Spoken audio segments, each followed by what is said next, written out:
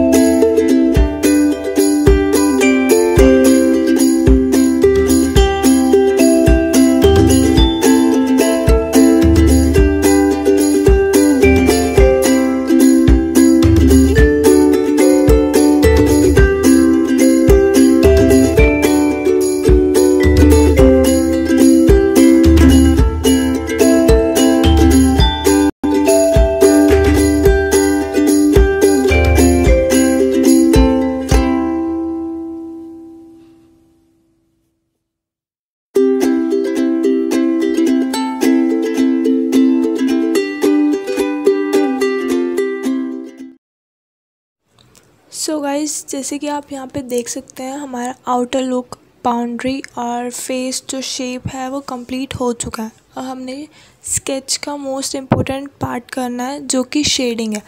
Shading जो है बहुत इम्पोर्टेंट इसलिए होती है क्योंकि हमें शेडिंग जब तक हम नहीं करते तो वो हमारा स्केच टू लगता है। और हमें थ्री स्केच बनाना है रियलिस्टिक स्केच बनाना है, उसके लिए हमें शेडिंग करनी ज़रूरी है। तो शेडिंग के लिए हमने क्या करना है? हमने एच बी पेंसिल लेनी है। एच बी पेंसिल से हम लाइट लाइट एरियाज़ को शेड करेंगे और फोर बी पेंसिल लेनी है। फोर बी पेंसिल से हम डार्क एरियाज़ को हमने कवर करना है। तो शेडिंग के लिए हमें एक ही सेम टेक्सचर में हमने शेडिंग स्टार्ट करनी है और ख़त्म भी सेम में ही करनी है। अगर आप टॉप से स्टार्ट कर रहे हैं तो आप धीरे धीरे शेड करते करते बॉटम तक ख़त्म करेंगे। ये ना हो कि आपने पहले एक जगह पे शेड कर दिया, फिर दूसरी जगह पे शेड कर दिया, नहीं। आपको सीक्वेंस में चलना है। जैसे जैसे आप स्टार्ट करेंगे वैसे वैसे आपने एंडिंग भी करनी है। शेडिंग के लिए शेडिंग आप रफ़ भी छोड़ सकते हैं और अगर आपने स्मूथ शेडिंग करनी है तो उसके लिए आपको स्मच करने के लिए आप फिंगर का यूज़ कर सकते हैं। और डिफरेंट टूल्स आते हैं, उसका भी यूज़ कर सकते हैं। फिंगर का यूज़ करेंगे तो आपका थोड़ा सा आपको स्केच में लगेगा कि स्केच हम बना रहे हैं। बाकी अगर आपको बिल्कुल स्मूथ चाहिए तो आप किसी भी टूल का यूज़ कर सकते हैं। टूल में स्मच के लिए आपको स्टैम्प्स आते हैं, जो आपको किसी भी स्टेशनरी से अवेलेबल हो जाएँगे इजीली फिर पेंटिंग ब्रश का यूज़ कर सकते हैं। ईयरबड्स का यूज़ कर सकते हैं और टिश्यू पेपर्स का भी आप यूज़ कर सकते हैं। तो उससे आपकी जो स्मजिंग है वो बहुत इजीली हो जाएगी। उससे आपका स्केच भी बहुत स्मूथ और रियलिस्टिक आपको लगेगा। खुद को ही आपको लगेगा कि हाँ भाई, आप बहुत अच्छा कर रहे हैं। तो गाइज़ शेडिंग जो है बहुत ही इम्पोर्टेंट होती है यहाँ पे हमारे स्केच के लिए। तो हमें बहुत ही इजी वे में बहुत ही आराम से हमने शेडिंग करनी है।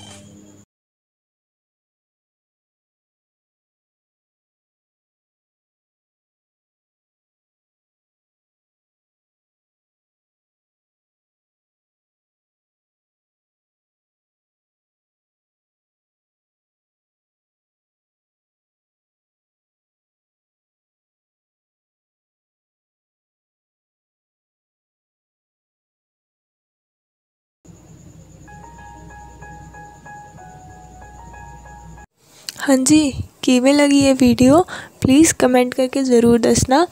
और अगर आपको इस वीडियो से कुछ सीखने को मिला है तो प्लीज़ गाइस इसे लाइक और शेयर करें। एंड मेरी न्यू वीडियोस देखने के लिए please subscribe to my channel and press the bell icon ताकि आपको मेरी हर वीडियो की नोटिफिकेशन मिल जाए और आप इसका नेक्स्ट पार्ट भी देख सकें। Thank you so much guys for your love and support thank you